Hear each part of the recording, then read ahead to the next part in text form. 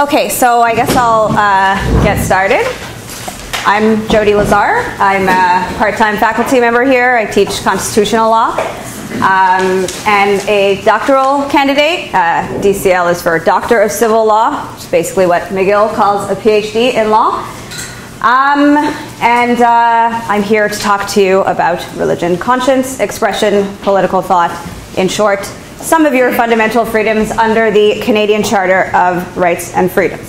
So I just want to thank the law school uh, organizers, Elizabeth Sanford for putting this together, uh, the dean for her support, and to the audience, of course, for being here. And I just want to add a small caveat before I begin that uh, while I am a member of the Law Society of Upper Canada, or the Ontario Bar, none of what I'm saying tonight is legal advice. This is my academic reading of the decisions of the Supreme Court having to do with freedom of conscience expression, uh, religion, conscience expression, and political thought. Uh, so if you encounter any problems in these areas, I urge you to talk to a lawyer. So that said, uh, what will I talk about tonight? Basically, I'm going to be talking to you about what it means that we have freedom of conscience and religion and freedom of expression and political thought in Canada. So, what it means that these are constitutional rights or charter rights. And I'll use those terms uh, interchangeably uh, and I'll explain why. So, how those questions, how these rights come up in everyday life, uh, how they can be limited by the government uh, what the court might look at in determining whether a violation on these freedoms, so a law, for example, that prohibits a certain type of speech or a religious practice, whether that's legal or not. In other words, whether it's constitutional. So, how courts deal with constitutional challenges. And I'm going to do this in a couple of steps. So, uh, my roadmap for tonight. Uh, first, I'm going to talk about what exactly it means to talk about constitutional or charter rights. So, where do they come from? What do they protect us from? What do they not protect us from? Second, I'm going to talk about a little bit of the, or some of the content of these rights. So, the scope of freedom of religion and freedom of expression, and you'll see that they're extremely broad, extremely far reaching rights. They cover a lot of things. In fact, there's not a lot that they don't cover. Uh, I'll look at some of the specific activities and practices encompassed by the two freedoms um, and some concrete examples uh, set out by the Supreme Court of Canada of practices uh, that are covered or not covered by uh, freedom of religion and expression.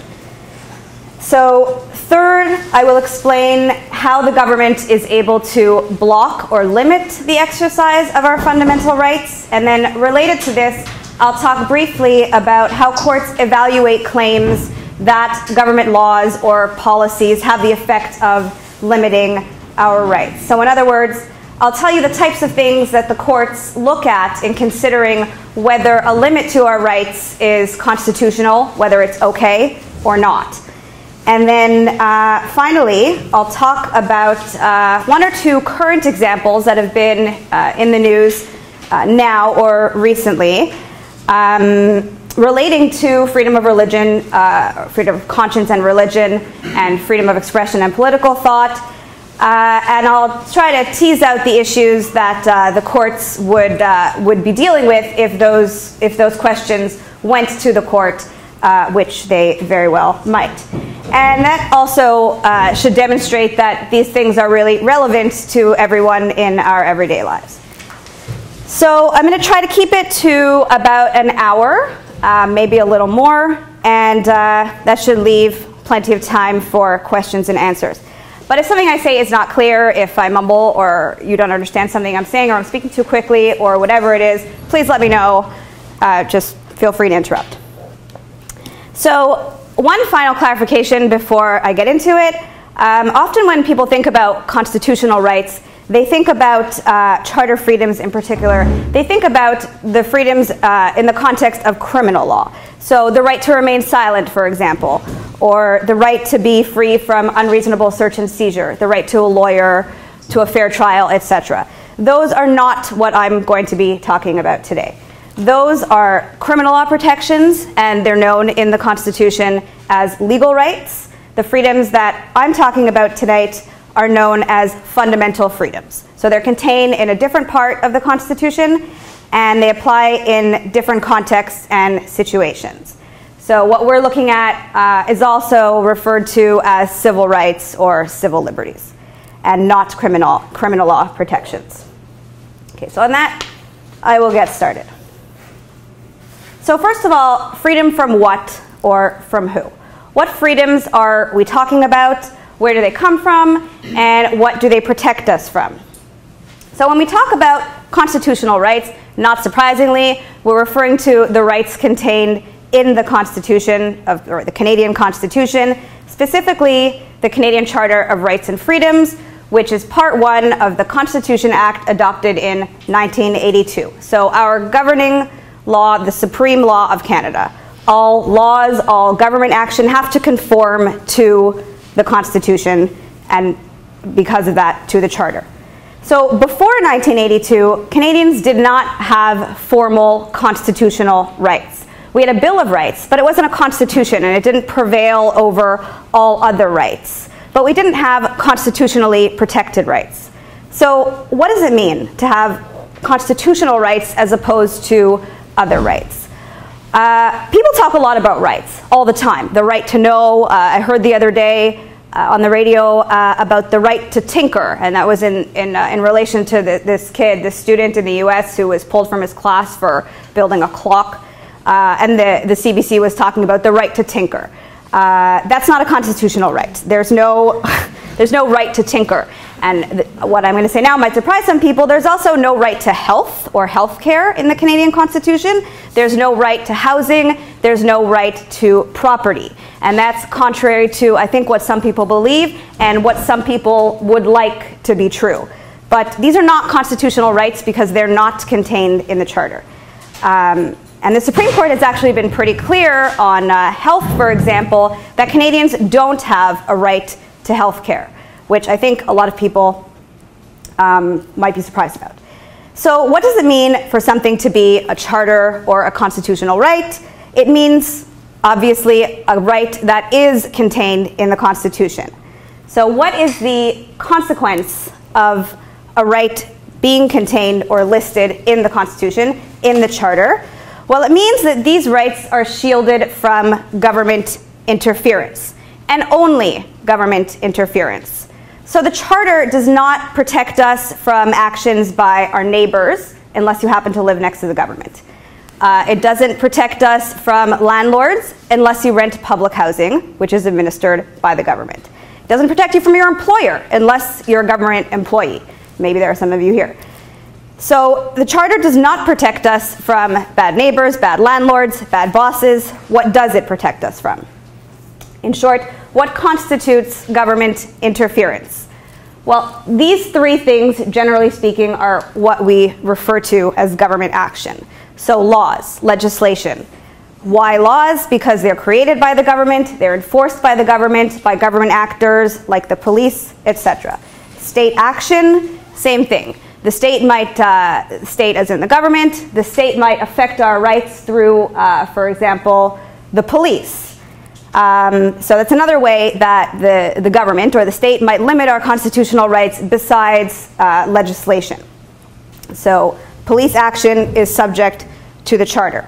Other state actors, immigration officials, uh, customs and border services, anybody acting on behalf of the government in a in a, an official capacity.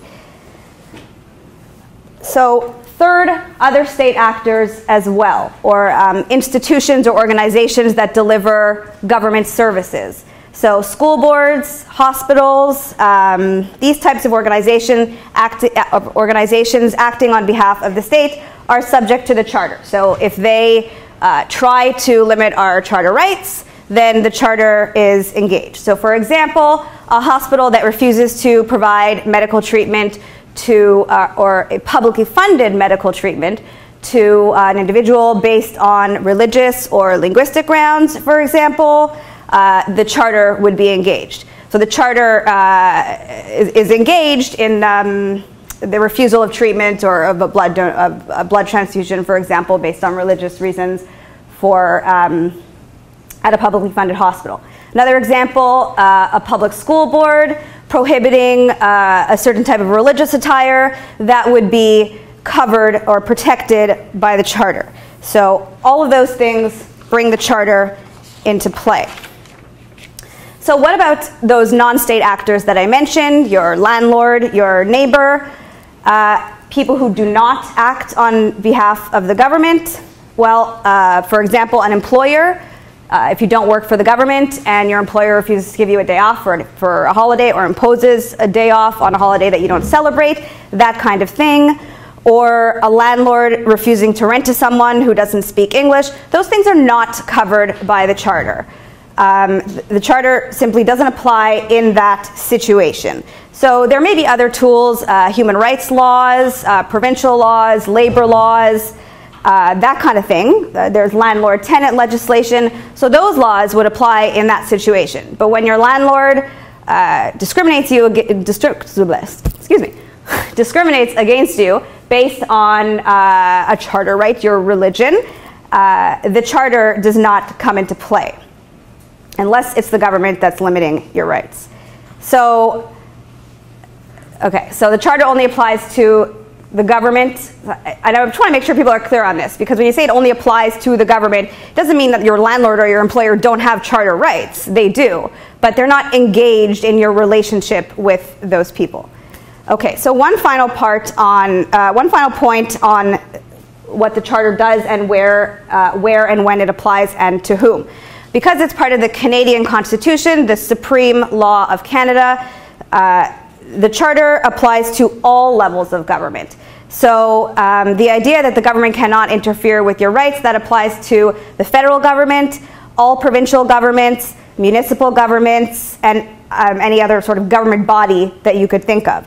So in the context of legislation then, federal laws have to conform to the charter. Provincial laws, same thing. Municipal bylaws, same kind of thing. Um, same goes for government actors, so police, regardless of who their employer is or what level of government uh, their police force is associated with. So RCMP, clearly subject to the charter, municipal police, same thing. So that's what the charter protects us from. I'm going to move on to the meaning of these freedoms freedom of religion and freedom of expression. So, broadly speaking, these freedoms that I'm talking about today can be, uh, can be thought about or understood in two different ways. First, freedom under the Charter means freedom from coercion. So, in other words, the state, the government, cannot impose uh, any religion or a form of expression or religion at all on the public. And we're going to come back to that idea when I, when I give you some examples in a couple of slides. So it's useful here to use the American language because the, the American Constitution is a lot more specific about this. In the US, this conception of freedom from coercion is uh, known as the Establishment Clause because it means that the government cannot establish a religion. In other words, the government is neutral with respect to religion. And the same applies here as well. And second conception, freedom also means that everyone has the right to practice, to manifest their religious or personal or political thoughts um, and practices freely. So, in other words, the government cannot prevent you from practicing your religion, from expressing yourself freely. Uh, and in the US, this is called the Free Exercise Clause. Um, again, I think the language is helpful. So, the Canadian Constitution doesn't go into as much detail, as I said, as, uh, as the American Constitution. In Canada, the Charter simply says everybody has the following rights freedom of conscience and religion, freedom of expression and political thought. Uh, there's no detail about what that means, about what the government can and can't do, about what you can do.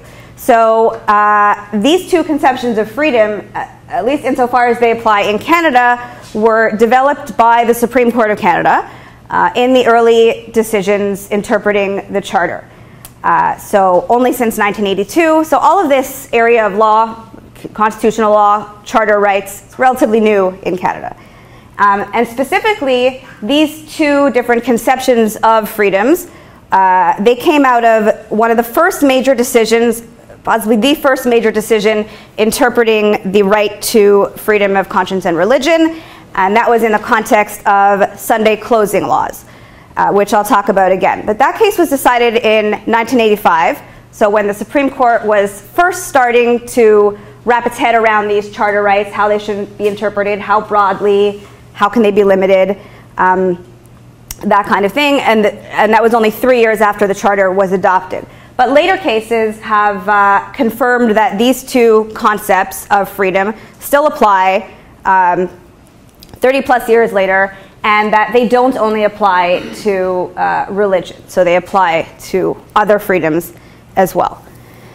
Okay, so I'm going to look a little more closely now at the specific freedoms in question, beginning with freedom of religion. So, like I said, I'm going to take you through the content of the right, basically what it protects in a general or a more abstract sense. Uh, and then we'll talk about examples. And again, everything I say right now uh, comes directly from the case law uh, as set out by the Supreme Court of Canada over the past three decades. so, first, what does it mean to protect religious freedom? It means that the practice in question, um, because, because the right means freedom to manifest one's religious practices, it means that the practice in question must stem from a comprehensive system of faith and worship. Usually, it's linked to the, to the divine or it has some nexus with God or spirituality. So it looks like we're thinking about most major Judeo Christian or organized religions in North America. The second element of freedom of religion in Canada, the Supreme Court has also said that uh, freedom of religion protects personal and subjective beliefs. So, in order for a practice to benefit from charter protection, and I think people might be surprised about this, the practice in question doesn't have to be objectively required by the religion in question. What matters is the person's individual or subjective conception uh, or belief in the practice. So I think this is best understood with an example. So let's say uh, a person is claiming a right to do something like wear a niqab or a face covering to a citizenship ceremony, for example a lot of the talk there was about whether uh, Islam requires women to wear these face coverings. Uh, but the court has said very clearly that a claimant doesn't need to bring in an expert, an imam or a scholar of uh, Islamic law, to testify that wearing the niqab is required for the religion. What matters only is the individual's sincere and subjective belief. And as long as that subjective belief is sincere, as long as it's connected to a system of faith and worship, to a spiritual belief, that's all that matters, that they are sincere and honest in their belief, not that they're claiming the right for some other reason. So, if an individual can demonstrate that these three things a comprehensive system of faith and worship, having to do with a belief in the divine, a personal and subjective belief, and a sincere belief. If all of those three things are, are present, then the practice in question is covered by the Charter. And the government is restricted from interfering with that right. Now, I'm sure you all know that these restrictions are not absolute. The government limits our rights all the time. I said I will talk about limits, and I will uh, a little bit later, but the point for now is that in order for a religious practice to be protected by the Charter, to be protected from government interference, it has to meet these three elements. So let's look at uh, some examples of freedom of religion claims that the court has dealt with. And all of these come, again, from, from the Supreme Court. So, first, Sunday closing laws. I mentioned this already. Uh, I said I would give you an, another example or an example of uh, the Establishment Clause uh, conception of freedom of religion in Canada. So, the idea, in other words, that Canadians cannot be uh, coerced by the government into practicing a specific religion or any religion at all. So, um, that first big case from 1985, it dealt with Sunday closing laws in Alberta. Um, and in the decision, the Supreme Court said that the government basically can't have these kinds of laws, religious laws. They can't impose their, uh, their religious beliefs on the public. Now, the government tried to argue that we're not imposing a religious belief. We're simply saying we want, uh, you know, a day off of commerce and business, and we're going to make Sunday that day.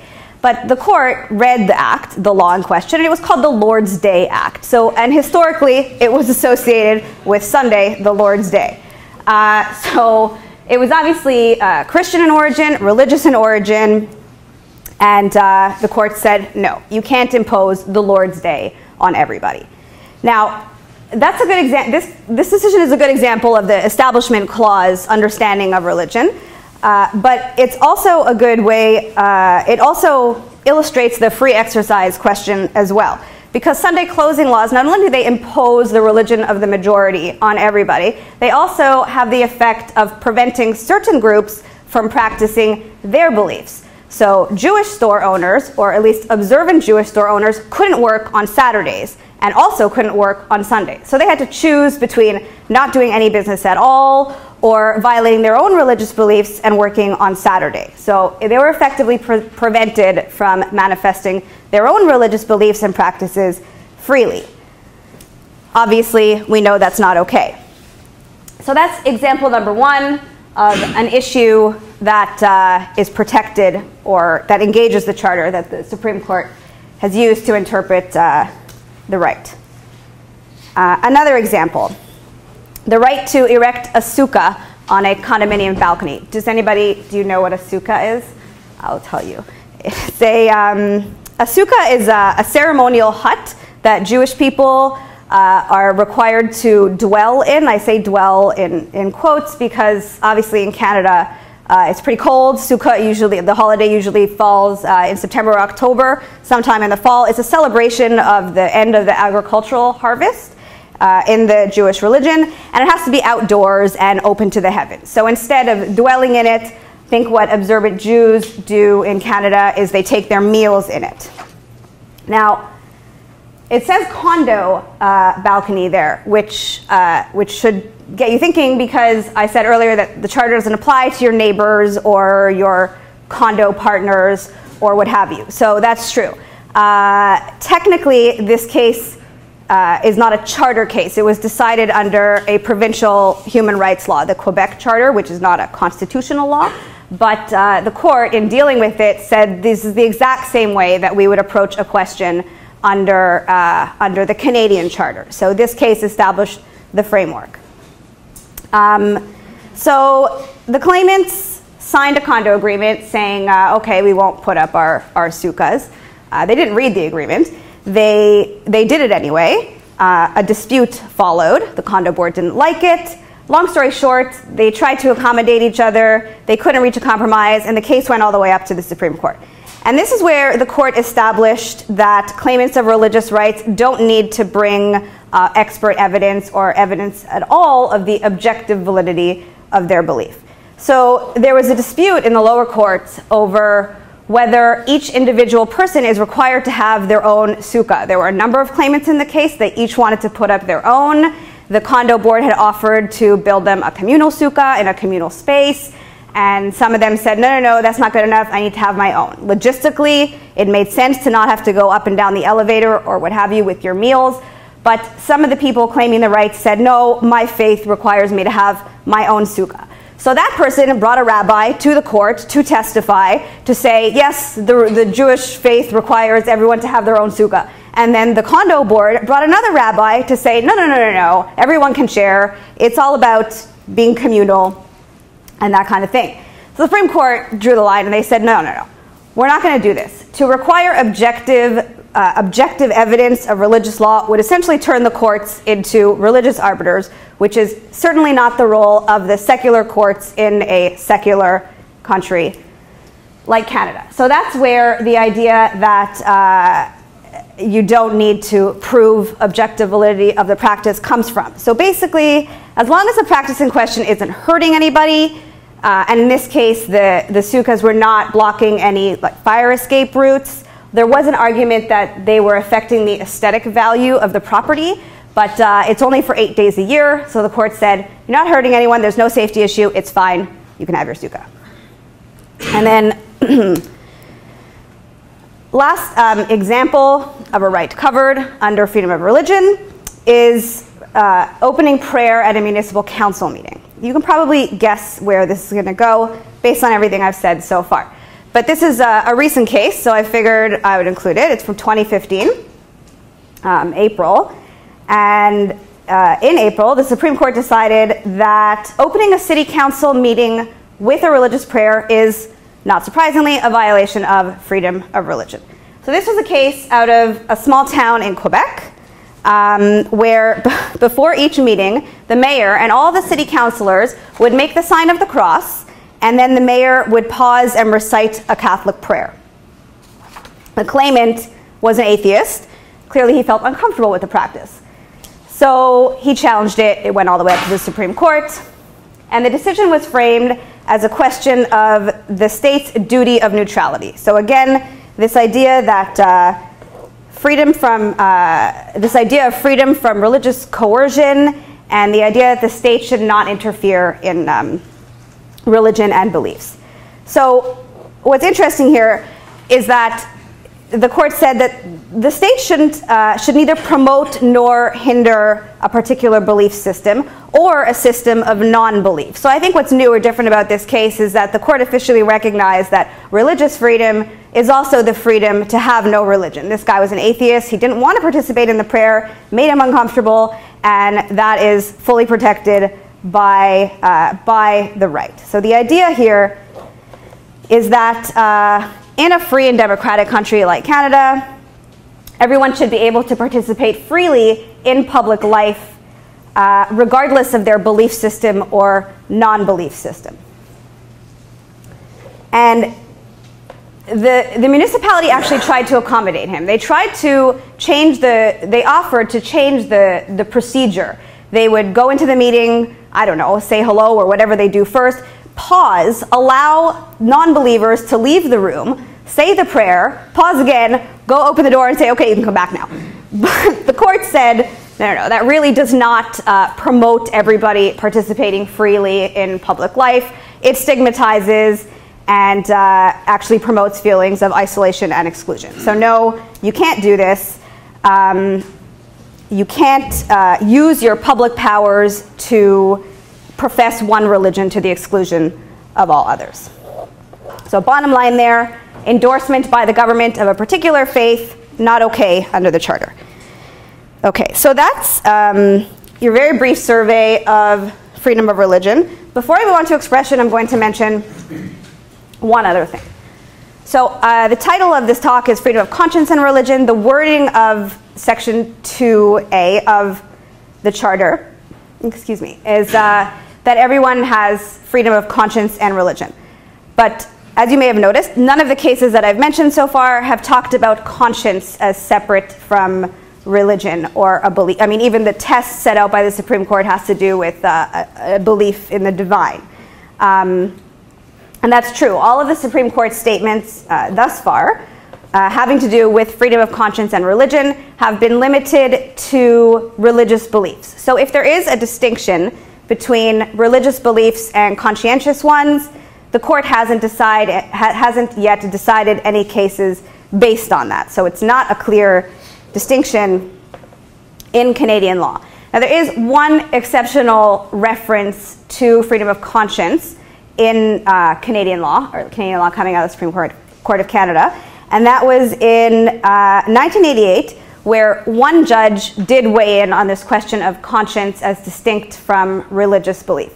So that was in the Morgentaler decision, which some of you are probably familiar with, which had the effect of decriminalizing abortion in Canada. And one judge there, Justice Wilson, who is the, was the only first and only female judge on the court at the time, also a Dal alumna, she said that the decision to terminate your pregnancy is a moral one, a matter of conscience. And she said that the right to freedom of conscience and religion should extend to conscientiously held beliefs, whether or not, or whether they are grounded in religion or in secular morality. So this exists, this idea, it's floating around at the Supreme Court, but her reasons were not definitive in the case, even though the majority of the court agreed that uh, the law in question was unconstitutional. It was decided on more uh, procedural grounds. Um, so the Supreme Court has not yet picked up on that line of reasoning. Uh, there is one reported case that I've been able to find, um, but not from the Supreme Court of Canada. And that had to do, I said I was going to mention prisons. That had to do with an inmate uh, at a federal prison who was a vegetarian for ethical reasons and not based on religious belief. So he simply thought that it was morally reprehensible, as I think a lot of people do, uh, to eat certain foods, including uh, meat, eggs, fish, and poultry. Now, not surprisingly, Correctional Services Canada has a policy in place. If you have a religious objection to eating certain types of food, they'll accommodate you. So if uh, a prisoner, an inmate, uh, is an observant Jew, they will provide uh, him or her with a kosher meal. Same thing for other religions as well. Same thing for uh, medical needs. If I don't know, you have a cardiac issue, you know, uh, documented by a doctor, maybe they won't serve you red meat. I don't know. They'll accommodate uh, your religious beliefs, they'll accommodate your medical needs, but the uh, correctional services did not want to accommodate his uh, conscientiously held beliefs distinct from religion. So, a federal court judge, the federal court is a trial court that deals with federal matters. This was a federal prison. So, federal court judge, he said that in recognizing religious beliefs but not moral ones, uh, not moral ones that are not grounded in the religion, the policy ignored the separate right to freedom of conscience. He said that both freedoms, religion and conscience, are protected by the Charter. But as I said, the Supreme Court hasn't pronounced on that yet, so um, the distinction is not yet part of the uh, general framework, uh, the general legal framework in Canada. I think there's a strong argument for it, but there are also arguments against, like where does conscience end? So we'll see what the Supreme Court says about that, if they ever do. All right, so that's your basic introduction to freedom of conscience and religion. I'm going to move on to freedom of expression and political thought.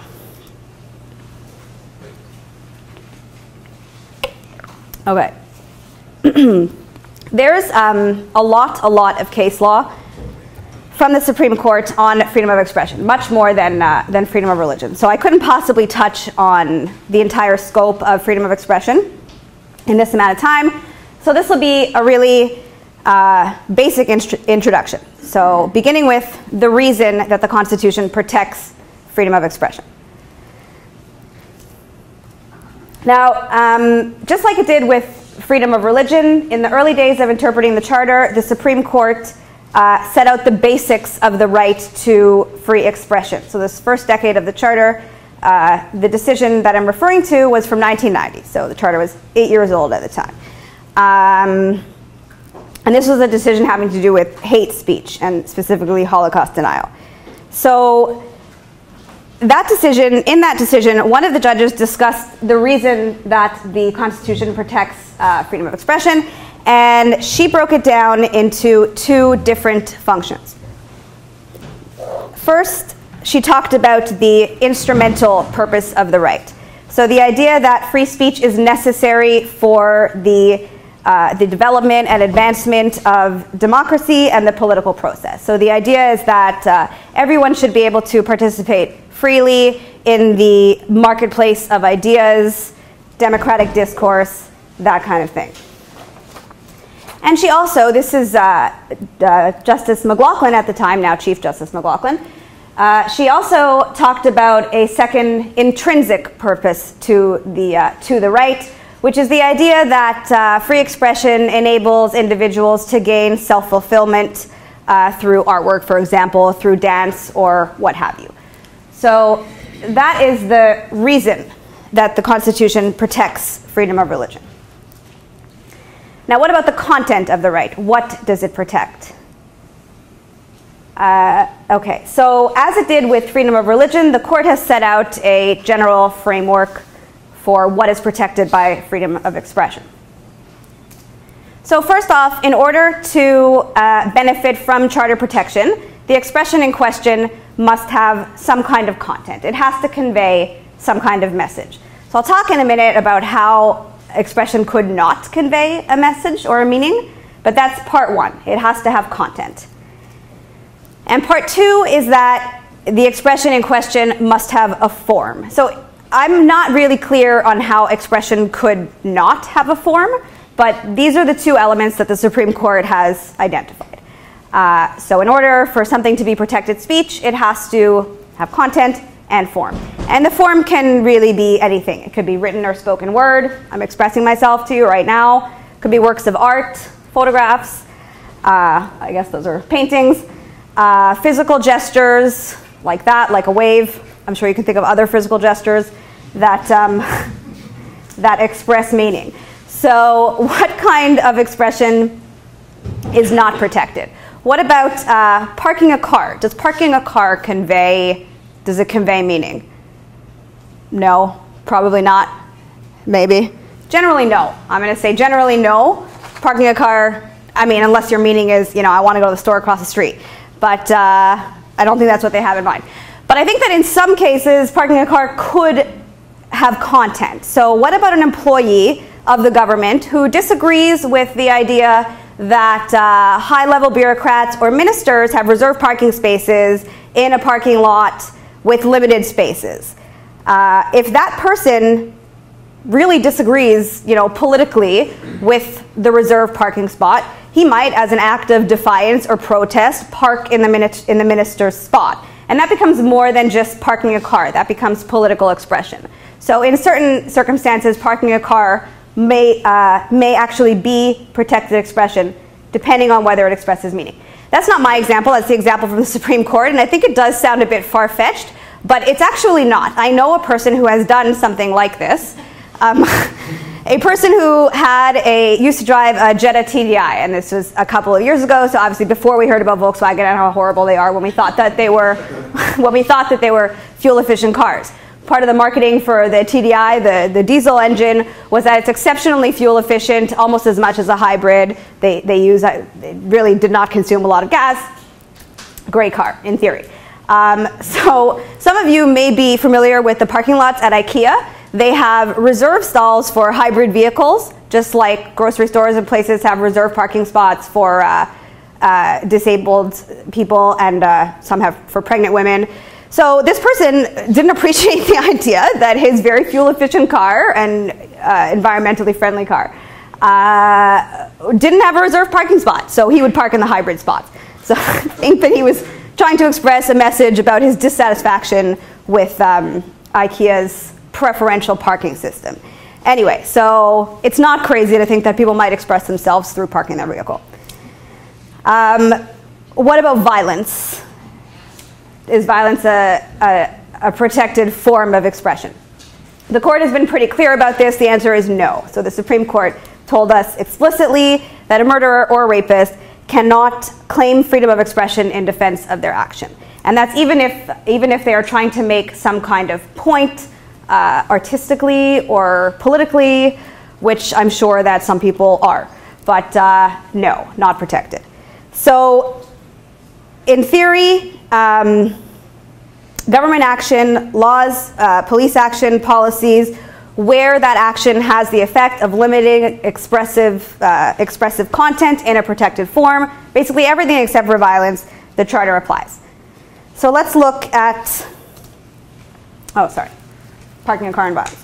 Let's look at uh, some examples, and all of these, like with freedom of religion, come from uh, specific decisions. So commercial speech, commercial advertising, is it protected?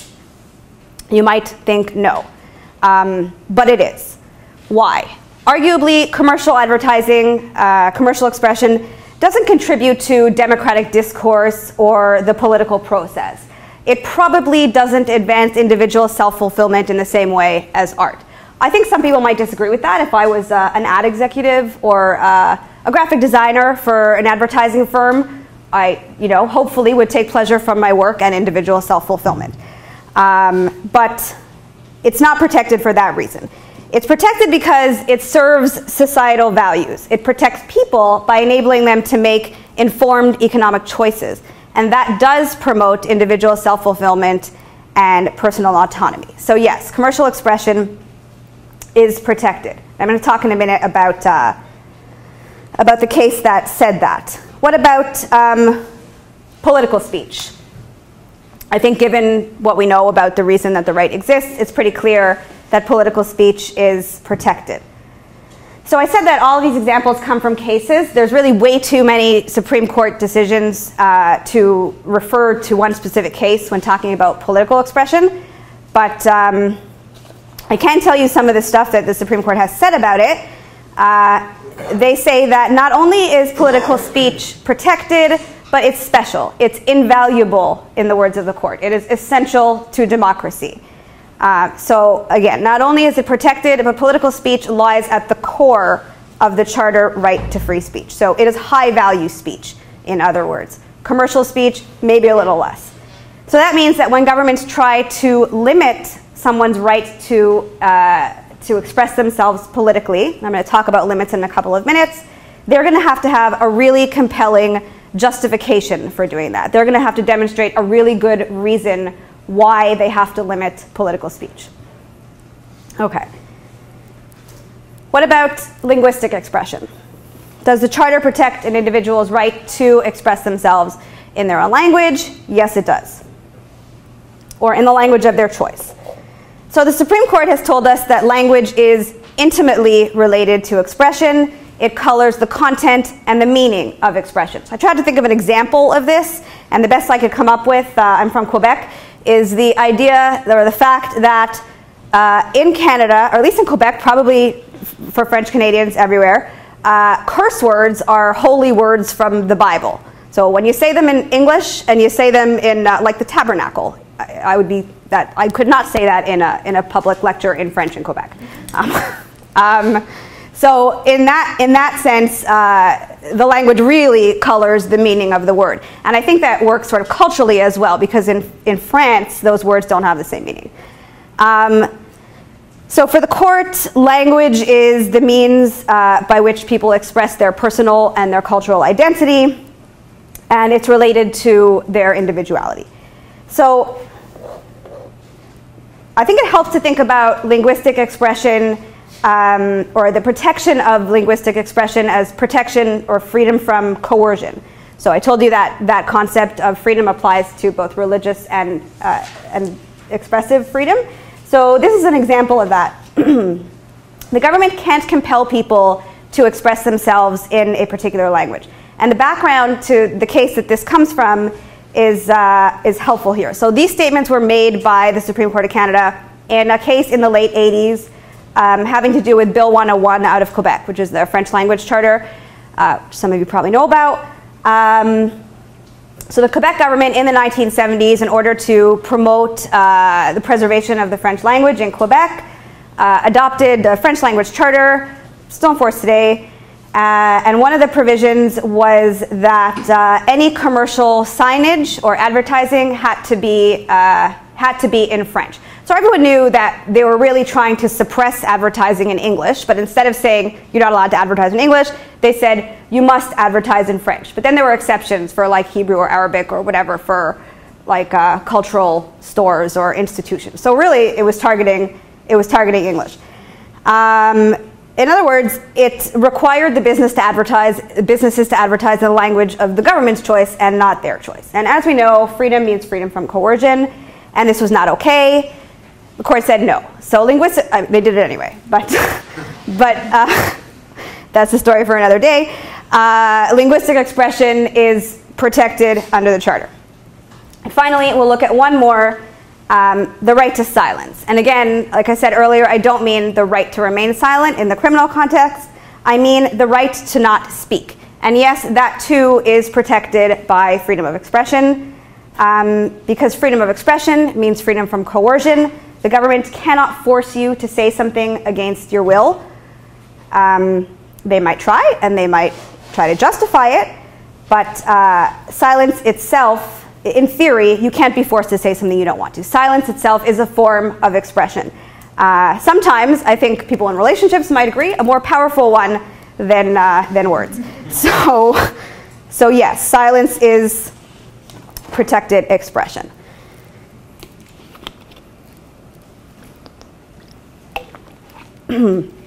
Excuse me. All right, so you might be noticing a theme here. These rights are extremely broad. There's not a whole lot that the Charter doesn't protect. Um, other than violent crimes, there really are no limits to what's protected by, by freedom of expression and, um, and freedom of religion. But we also know that the government can limit these freedoms. So this is where the real work happens. They can limit our rights, the government can limit our rights, by virtue of a different provision of the Charter. This is Section 1 of the Charter. So it's, it's, it's it's interesting if you think about it. The charter, this beautiful liberal rights document, it opens and it says, you have all these rights, but we can limit them, and here's how. So the provision tells us that the government can limit our rights provided those limits are reasonable and provided that the government is able to justify those limits in the context of a free and democratic society. So that's really nice language. I'm sure that it took a long time to come up with. But what does it mean? So section one of the charter is quite complicated. It's still in development. I'm not going to get into the nitty gritty of it. Uh, the legal tests can be complex, but I'm going to tell you the gist of it, which is that when the government restricts our right through legislation, and it says right there that we're talking about limits prescribed by law. So this applies only to legislation. You can't justify unconstitutional behavior. Um, but when, um, when the government tries to uh, limit our rights through legislation, the court will engage in a balancing test. They will balance the beneficial objectives of the legislation in question with its drawbacks, the drawbacks being the negative impact on our rights. So, in other words, it will weigh the bad, the charter violation, against the good the public good that the law in question is trying to promote. And it is up to the government, once someone has established that their rights are indeed being, being affected, which is not that difficult in most cases, it is up to the government to justify, with compelling evidence, why it should be permitted to uh, limit those rights for the purpose in mind. So, like I said, in constitutional interpretation, this is where the heavy lifting happens. And I think it's best understood with examples. So I'll go through a couple of examples, and then we can talk for a minute or two about current things happening, and then I'll take um, Q&A. So an acceptable limit to uh, rights is a photo requirement on an Alberta's driver's license, or on an Alberta driver's license, or on any driver's license. Um, so it's Alberta because the case came out of Alberta. So this case was brought by the Hutterian Brethren. They're like a, a, religious colony that lives in rural Alberta. They've been compared to Mennonites or Amish. Uh, it's a small, closed-off, self-sufficient community. They, you know, do their own farming, their own. They make their mo most of their clothes. So pretty much self-sufficient. But sometimes they need to drive to town for amenities and especially for medical care. The problem was that they have a religious objection to having their photograph taken, having to do with uh, the second commandment and the prohibition on idolatry. That's all I know about it. But the court accepted that it was a valid religious objection based on a sincere belief in a connection with the divine. So there is an effect or a limit to these people's rights. So then the court looks at the objective of the licensing scheme and the photo requirement.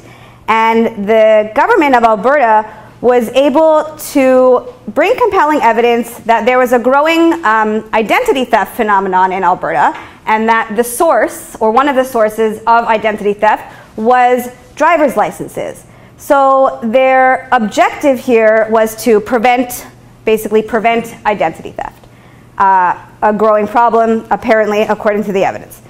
So that was the positive objective pretty compelling objective. I guess they brought good evidence. Uh, the negative consequences were that the people in question couldn't drive. And of course, they're going to the Supreme Court, got to come up with a really good argument.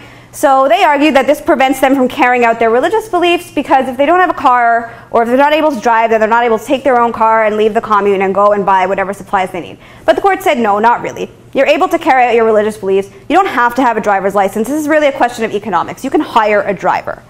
So it came down to a question of cost. There was disagreement. Uh, it was not a unanimous decision at the Supreme Court, but uh, the majority prevailed, and they said the cost of hiring a driver in those couple of instances where you need it is not uh, a really severe violation. It doesn't prevent you from manifesting your religious beliefs. So the government won, and a photo requirement is okay. So you see how they do this sort of balancing test.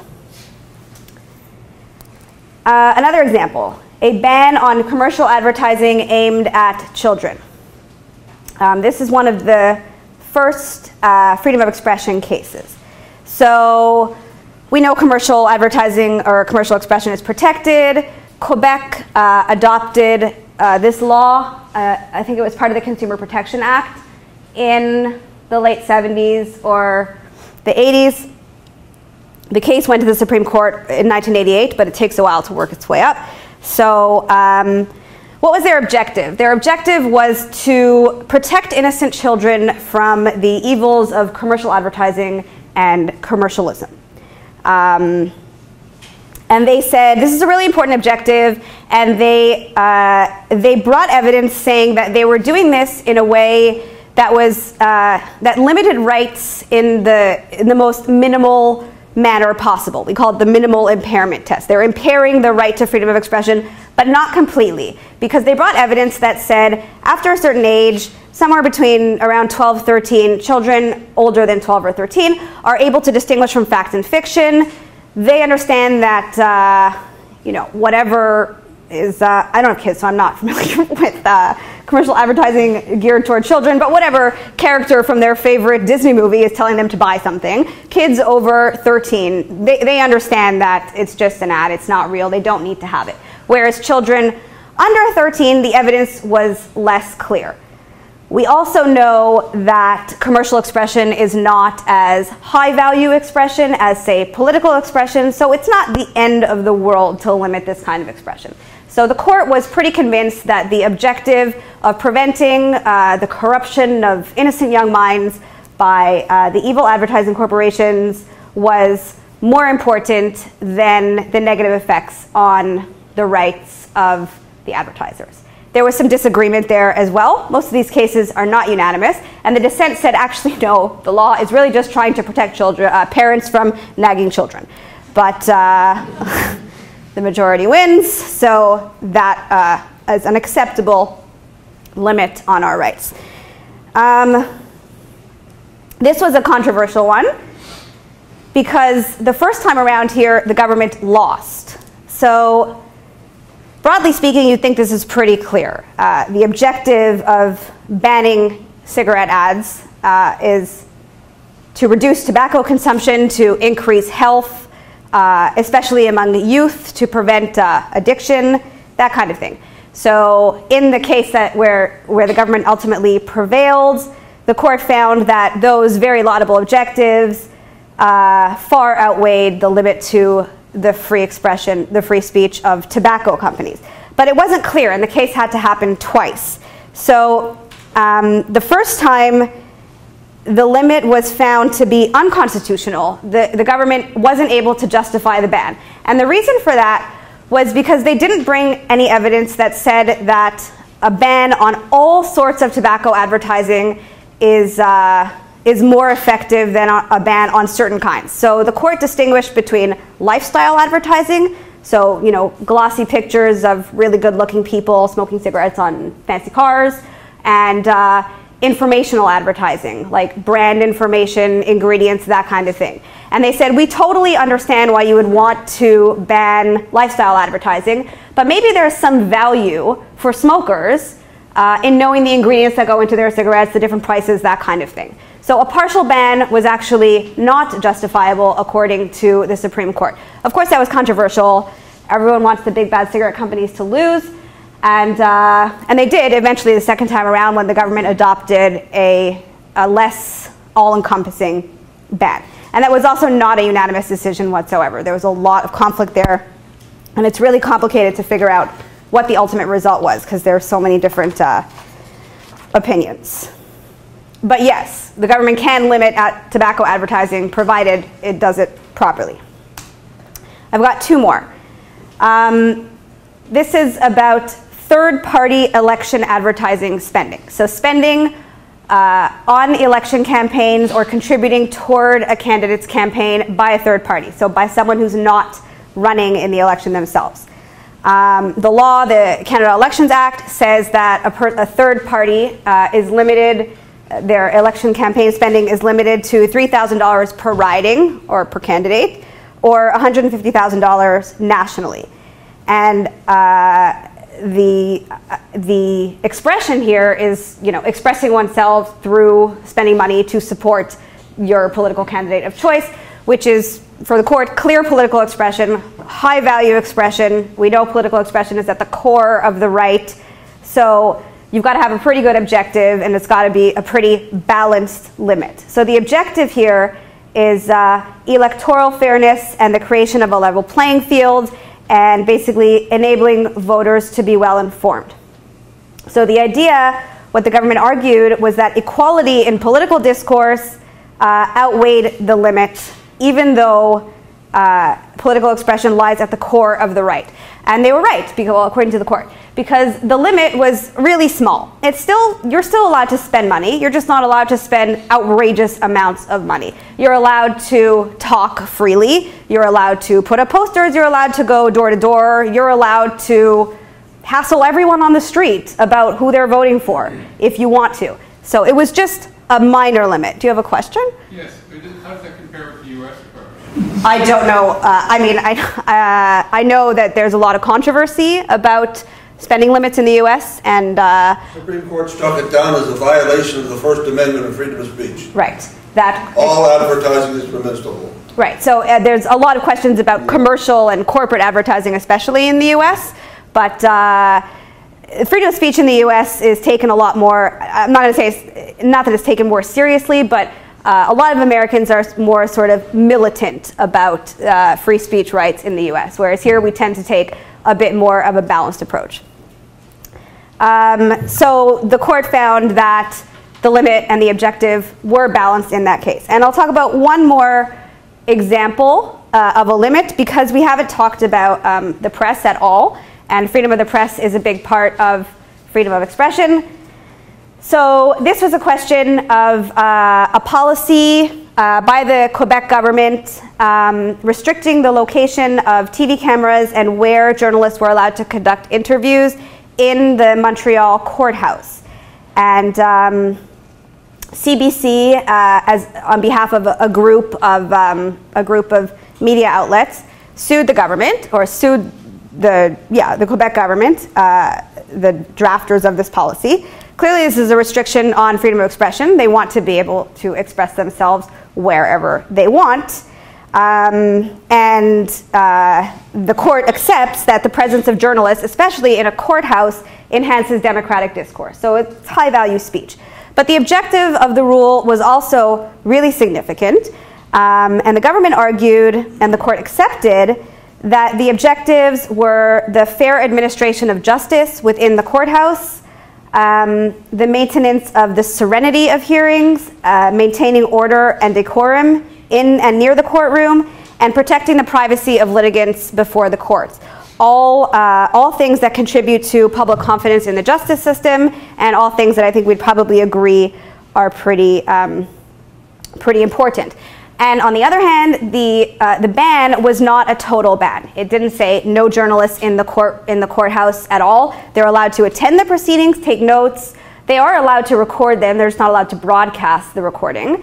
Um, and they didn't have to stand outside in the minus 40. Really, what they were saying is you're not allowed to bombard the people as they exit the courtroom, which you see all the time on the news, right? Like scrums, where you just run up to the people leaving the courthouse. And I think that could probably be extremely overwhelming and uncomfortable for a lot of people, not only in terms of secrecy, but just, you know, people deal with really sensitive issues at the court. So um, the, the Supreme Court found that the benefits there outweighed uh, the harm, the, the limited harm to freedom of expression. Okay, so that's the gist of it. That's the meaning, content, and scope of freedom of conscience and religion and freedom of expression. So I've also talked about how the government can limit these rights and how the court determines whether or not those limits are constitutional. So I have two more slides, um, and we have some time. And they're examples of current things in the news that have not been decided by the Supreme Court um, and that, direct, uh, that relate directly to freedom of religion on the one hand and freedom of expression on the other. So uh, I'm not a judge, um, and I tend to not uh, wager on how Supreme Court decisions are going to come out.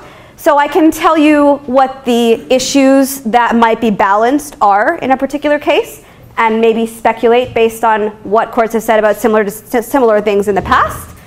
Can't pronounce on, can't bet on how they would pronounce. Anyway, I'll run through them quickly and then uh, we can move on to questions. So this is probably a familiar image to most people who have been following the news lately. Excuse me. Um, that was, that is uh, Ishaq, a recent, uh, well, she's now a citizen um, who challenged the government's policy banning the wearing of the niqab at the citizenship ceremony. This has stirred up a ridiculous amount of debate and took up a lot of attention during the election. Um, so people who have been following the story will probably know that the reason she was able to get citizenship is because both the federal court and the federal court of appeal uh, struck down the uh, struck down uh, you know that's law speak for said it's not okay it's unconstitutional whatever the uh, the ban the policy uh, the policy wasn't contained in a law. It's not in the immigration act. It's not in the regulations. It was a ministerial policy adopted by virtue of the immigration act uh, which says that citizenship judges have the discretion to decide how to administer the oath. So the case was not about whether it was whether banning the niqab at a citizenship ceremony is a justifiable limit. The court didn't engage in any of that section 1 balancing. They just said that according to the law and the administrative framework right now, that policy was not allowed. But the court, uh, the case is currently uh, pending leave at the Supreme Court of Canada. So some of you might know that not every, every case gets to go to the Supreme Court. You have to ask for permission, and the judges decide whether they're going to hear your case. They get hundreds of applications every year, and they hear about 80 cases every year. And this is pending leave. So we don't even know if the government is going, if the current government is going to continue to defend the policy, or maybe they're just going to abandon it. Um, different government then decided it. But if it goes to the Supreme Court, then presumably uh, the court will rule on the charter issue. So we can talk about that. Based on what we've learned in the past hour, we know that the charter protects freedom of religion, and it's a really broad protection. Um, we know that in order for a practice to be protected. It has to have, uh, it has to do with a conscientious belief, uh, or a, sorry, a belief in a, has to be related to a comprehensive system of worship or faith. It has to do with a belief in the divine. There's no argument here. Islam is a popular recognized religion in North America, in Canada. We know that she is subjective in her belief. I mean, I don't know that, but the court the court accepted that, so I'm not making any speculations Just talking about the record of the case, there's no question that she is uh, sincere in her belief. There was a question, at least in a lot of the debate that I heard about this and that I read, that uh, only certain sort of sects of Islam require the niqab, and a lot of people were saying that uh, Islamic law doesn't actually require it. It's not an objectively required practice, therefore she shouldn't be able to do it. But as you know now, it doesn't matter if the religious law in question requires you to um, practice or exercise the, the practice in question, as long as you sincerely believe that it's going to bring you closer to your connection with God, that's all that matters. So I think that she's got a pretty good claim here that that policy, whether we like it or not, is uh, directly affects her protected freedom of religion. So the question is whether the government can justify uh, reasonably that it's in, in the interests of a free and democratic society to limit her right to wear the niqab to the citizenship ceremony. And I think this is where all the talk about um, security and identification comes into play. But the case that I read uh, was also very clear that there's no issue regarding her identification. She's not refusing to identify herself. She will go in and lift her veil and show uh, a female immigration officer or clerk or whatever that uh, she is who she says she is. She just doesn't want to stand in public in you know in a group of 100 people and uh, have to take off her veil. And um, and also a lot of citizenship ceremonies are televised or they're on the news so she didn't want that kind of exposure so we know that there's no question uh, of identity or identification there's no question of uh, threat to security so I, am not sure how the government would be able to compellingly justify the requirement in the interests of a free and democratic society that's what they would have to do I'm just going to talk about the second example and then we can come back to it, okay? So we can talk about that if you like. That's my take on it. It's not an opinion. I just would like to, I would be curious to see how the government would try to limit her right. And um, second, also to do with uh, the election, this is uh, Parker Donham, uh, he might be familiar to a few of you. He's new to me because I'm not from Nova Scotia, but uh, he has, is a political blogger, journalist in from Cape Breton. For he's been active for like 15 years. Anyway, um, that is his tweet from the day of the election. Uh, he tweeted his ballot. He voted for Monica Dutt of the NDP, who lost, um, and the Canada Elections Act says that it is illegal to show a marked ballot. It doesn't say that it's illegal to photograph your ballot. It doesn't say that it's illegal to tweet your ballot or put it on Facebook or whatever. It just says it is illegal to show your marked ballot. Now we know that political expression lies at the very core of freedom of expression. Uh, clearly he's contributing to, well, I mean, I think he's trying to start a controversy, but uh, clearly he's contributing to political discussion and debate. People might say, hey, Parker, why'd you vote for her? And he'll say, well, I like their policy on daycare and whatever. Um, the point is, um, we also know that even though it's high value expression, the court will allow limits to it provided the limits are justifiable.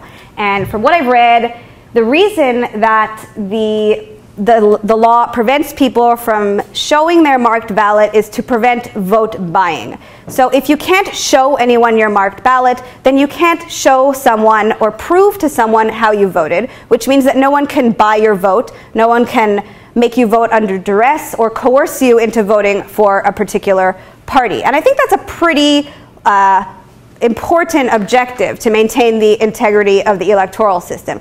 Now, some people, him included, are going to say, oh, vote buying, who does that anymore, blah, blah, blah. But my understanding is that this is something that uh, historically did go on in Canada. Uh, especially in rural ridings where people would like trade votes for a ride or whatever. I don't know. Um, but apparently, this is a problem. The question would be whether the government is able to bring compelling evidence. And by compelling evidence, I don't just mean a strong argument. They actually have to bring evidence, you know, scientific studies or concrete evidence saying, look, this is proven, this, or proven. I mean, they don't have to prove beyond a, beyond a reasonable doubt. It's not criminal law. But uh, they have to bring pretty conclusive proof that this is actually a problem uh, that they're going to prevent. So he says, we should tweet our ballots, we should encourage young people to vote, etc. Government says no, we don't want to encourage vote buying, and uh, that kind of thing. So that's the debate. I, uh, if it goes to the court, uh, I'd be very curious to see what happens. Um, Elections Canada has said they're going to take this seriously. Oh, and he did this two years ago as well in the provincial election, uh, but he wasn't charged because the wording was actually unclear. It didn't say you're not allowed to show your ballot. It just said that people are not allowed to take photographs at the polling station, which was, um, well, I mean, he did, but uh, anyway, the RCMP looked into it and said, we're not going to charge you. But then they went and changed the law. And I, I, think that the Nova Scotia Elections Act now says the same as the Canada Elections Act, which says you're not allowed to show your marked ballot. So I think he wants to do uh, like a test case. You know, I mean, he, he wants to get in trouble. He wants to bring his, uh, his challenge to court. So um, that's everything I promised. Um, so I'm done now. And uh, thank you. And uh, I'll take questions. Are the questions recorded as well? Okay. You have a question? Yeah in the niqab issue, I can see that there's not much a balance in the citizenship context. There's not really no real conflict. Uh, but what about if it's a situation where the person is working, say, as a government employee, and the situation becomes somewhat similar to the Quebec case where they're having uh, prayers, and how do you think the court would handle the issue in that context when you have a conflict between values and beliefs in terms of the people who are interfacing with her or with wearing the. So, um, a couple of years ago, under the former Quebec government, they tried to do, or they campaigned on the idea of doing precisely that uh, a Quebec Charter of Values, which would have uh, prevented public servants or public employees from wearing religious garb, including face covering, but not just that, like a head covering and uh, a large cross was really um, wide in scope. And, um, you know, uh, I think it would, it would be sort of case by case. Uh, I think the government would have to bring evidence that uh, people do feel uncomfortable going to, uh, you know, uh, a person at the driver's license kiosk wearing a, a niqab. I, I don't know that someone would, would feel like they were being coerced into a state religion if an individual who worked at the DMV wore one. I mean, when the there was a lot of talk during the Quebec Charter of Values debate about uh, women wearing um, hijabs, uh, which don't cover your face, and uh, this kind of thing uh, in daycares, and the idea that uh, it was bad for children, or I don't know. But uh, I can tell you that what a lot of constitutional lawyers and scholars were saying at the time was that despite public support for that kind of charter, uh, there are really strong arguments that it's unconstitutional. I don't know what kind of compelling evidence the government could bring, especially when Canada prides itself on being a really open multicultural space. So I don't know. I would like to know what the courts do say. Yeah. I'm just kind of confused about the, the idea that someone is not, how the charter can cover someone who's not even a citizen. Isn't the charter for citizens? Nope the charter applies to anyone in Canada or under sort of Canadian authority. I mean, it's.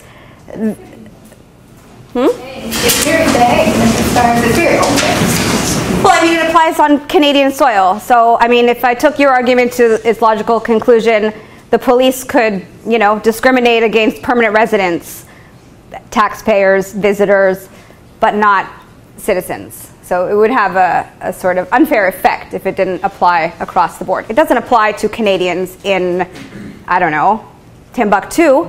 It doesn't apply, so it's a, it's a territorial thing, not an individual thing. So it applies to just the same way that our laws apply to people here. You know, just because you're not from here doesn't mean that you don't have to obey the law. So in, in turn, if you're arrested here, we'll, you have to obey our law, but we'll give you due process according to the Canadian Charter. Yeah. I wonder if we could ask how many people here will ever read the charter? Uh, we can ask. Question, how many have read the charter? I hadn't before before I went to law school. It's the most adored, if that's the word for it. Revered. Revered, that's a better word. Instrument in our history, according to the latest polling well above anything else, Parliament or the Constitution of 1867, the Charter. And the poll also showed that a vast majority of Canadians have never read it. So it's a strange country. that doesn't, um, it's true. Actually, I heard a, a piece on the radio recently, uh, an interview with a constitutional scholar at the University of Ottawa uh, about this idea that Canadians should know their constitutional rights. You talk to, you ask a Canadian about the Constitution, they'll say, oh, the First Amendment. But no. right, sure. So it's true. I mean, uh, maybe it should be, mm, I don't know, taught more comprehensively in high schools. Um, it's a good point. Yep. Any other questions over here? Yeah. Uh, You, you were talking about government legislation that goes down to the lowest level of government. Now, city councils, uh, quite often pass legislation that really interferes with citizens' rights. So, is that a charter issue? Uh, well, municipal councilors are a municipal government. Their ability to pass laws, they're, they're under provincial jurisdiction. But, uh, but yes, I mean, can you give me an example? Well, the, in Nova Scotia, um, you have a lot of spot development situations, which means that a developer, the, the council is really setting aside all of the bylaws, land usage, everything, and, and giving a developer the right to put usually, a high-rise building in a, in a small neighborhood. Now, I won't go into all the details, but that really interferes with all kinds of things which we assume is a right. The right to peace, for example, the right to enjoy your own property, da da da da da. But in Nova Scotia, the municipal act says that you can't appeal that kind of decision on the part of the, of the council. So basically then, there's no, there's, there's Okay. no way you can appeal. Well, I mean, uh, Is it, a- if if it was a charter thing, then Yeah. I would think legally, you could appeal it on the charter basis, not on the basis of the of the city councils. Okay, uh, so I'm not going to get into uh, municipal law because it's not my area of expertise. Except when they say you can't appeal, there are probably other other recourses that you can take. Um, but it's funny that you say the right to peace or the right to enjoyment of your property or that kind of thing, because that that relates to what I said at the beginning of my talk, which that I think people have a lot of uh, misconceptions about the types of things that the charter protects and it does not, in fact, protect property, unlike the US, which has a right to property. Uh, the charter does not. It's uh, not that it's easier, but it's a lot less uh, controversial here, for example, for the government to expropriate property, whereas in the US, that's a, that's a huge deal, and there's all kinds of constitutional doctrine about uh, takings and expropriations. So I think we just need to be careful uh, in using the word rights. Uh, so, sure, uh, it's unfortunate uh, that that's happening. And uh, I mean, I, I guess the best way to, to deal with it would be through the democratic process and voting for someone else or getting together as a group. I don't know. But I guess my, my answer is that they're not constitutional issues. As long as the municipal government is acting within its authority under the provincial law. Not very satisfying, I know. There's another question over here. Um, all rights are equal under the charter, Yes. but there is a bit of a hierarchical part to it. I'm, I actually interested in not, it's probably not going to go to the Supreme Court of Canada, but I'm interested in your thoughts on Trinity Western. Yeah, I figured that you were referring to that. Um, a lot of people, people, a lot, some constitutional scholars will argue that there is a hierarchy of rights. So I've heard that argument at a conference before that uh, the right to equality is now becoming more important than the right to um, the right to freedom of religion. Uh, does everyone here know what the Trinity Western debate is? Uh, it's a Christian university in British Columbia that wants to open a law school. It's a private university, and uh, in order to go there, you have to sign a covenant that says that you won't uh, participate in, uh, among other things, sexual acts outside of marriage uh, of marriage between a man and a woman. So basically, uh, there's a strong argument that it's discriminatory against uh, gay people, and the issue and why why it's a question of whether one right is more important than another is because it's pitting the right to equality um, against the right to freedom of religion. Um, I don't want to get too much into Trinity Western because uh, it's not something that I've thought too much about from an academic perspective. A lot of other people at Dal have. Uh, but in theory, no, there's no hierarchy of rights. The court's going to have to sort it out the way that, and it probably will go to the Supreme Court of Canada. I mean, maybe. Well, we see that Bert rescinded his uh, school, the law school, so there's no law school. No, but pending the results of all the litigation, because now it's going to go to the, uh, it's going to appeal here, and the Ontario courts just ruled on it um, against the school. Uh, so it'll likely be appealed there as well. So I think that the certification was uh, withdrawn pending the results of the litigation. Uh, I'm, I'm not sure, but uh, I think this is the kind of case that would go to the Supreme Court, so it would be really interesting to see what happens. But uh, in theory, to answer your question, no, there is no hierarchy of rights. It does happen that rights will come into conflict, the right to equality here versus the right to freedom of religion. But uh, in theory, no. And I think that this case will probably, or at least here, it was decided uh, on an administrative uh, framework and not using this same balancing test. Or I think actually the judge did both. Um, it's not really clear to me. I mean, It's a little bit different though, isn't it? Because Trinity Western is all about a law, the law society saying we're not going to accept somebody Yeah. who signs something like that. Yes. Which is slightly different. Okay, well, exactly. So it, it was considered an administrative decision by an administrative actor, the Law Society being the administrative actor, so it's not analyzed this same way as legislation. But I'm, I think the judge here also said just in case the Law Society is considered a government actor, we're also going to look at it this way. So I think he did do this Section 1 balancing test. But uh, I don't really want to say any more about, about Trinity Western um, other than no. There, there, no, there is no hierarchy of rights under the charter. Uh, can I just go over here? Yeah. Um, I'm wondering about hate speech, like in the con- in the context of um, the limits you can place on freedom of expression. Like, where does where does that fit in? I'm thinking of the Charlie Hebdo cartoon. Yeah. This is probably like not a particularly. This is probably too complicated of an example, but I guess I'm just wondering, like, what what limits and how you can place limits on hate speech, for that. Yeah, I mean, uh, it's criminal legislation. It's in the criminal code. There are provisions against hate speech. Uh, but hate speech is, and, and it's limited uh, and it's justified under that Section 1 justification test. Um, but the definition of hate speech, uh, in the criminal code at least, it's very small. It's uh, advocating for genocide. Like, really, really, uh, it, it's really hate speech. Um, it's not. it- It's you can. I mean, you can threaten people. That's a. It might be. It might be. Uh, there might be a, a, a criminal prohibition on threats, but the the speech is not is not the same. So uh, hate speech is limited. It's in, inciting people to do violence um, but it is in the criminal code.